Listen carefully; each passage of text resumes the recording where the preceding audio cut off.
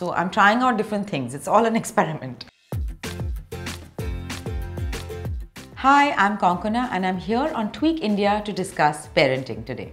How do you raise a boy to be a man who's sensitive, compassionate, and a feminist? I think it's amazing if we can raise human beings to be like that anyway. One has to be able to articulate easily and simply why some things are okay, what to call out, what to accept as a joke and what not to accept, etc. So I'm trying out different things. It's all an experiment. From our balcony, we could see kids playing on this uh, road. Were only boys playing. So I asked him, I said, where do you think the girls are? How come there are no girls playing? It hadn't actually occurred to him because we accept so many things as normal. I generally think that if you have this awareness at the back of your mind, then it spills over. I try to do things like make him involved with household chores, like it's his job to lay the table. He doesn't believe in anything matching.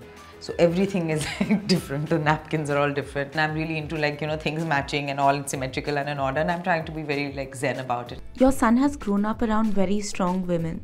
How do you think that has shaped him?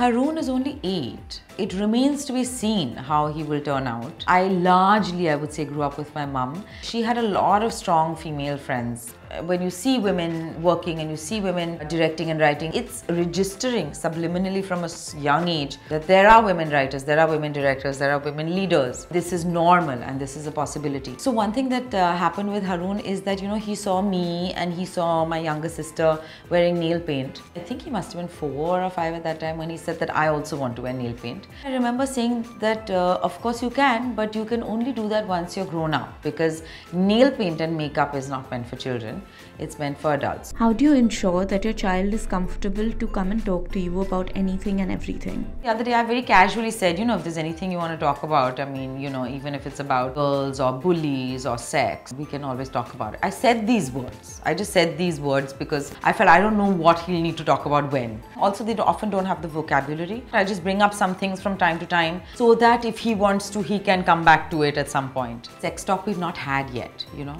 And I've been looking up a little bit here and there researching, but it happened in the most uh, incongruous manner because I think my mom was actually reading out some stories from the Mahabharata. I got a call from my mom saying, uh, listen, I'm going to have to give a very quick crash course on reproduction.